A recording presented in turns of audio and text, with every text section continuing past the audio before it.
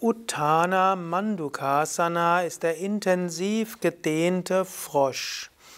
Ausgangsposition ist Mandukasana, das heißt, du sitzt zunächst mal auf den Fersen, dann gibst du, setzt du dich zwischen die Fersen, die Zehenspitzen nach innen und die Knie nach außen.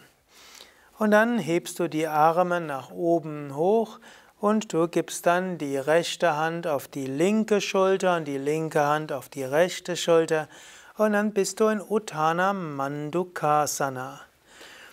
Manche sagen auch, Utthana Mandukasana muss eine Dehnung sein, nicht nur die nach oben aufgerichtete Frosch.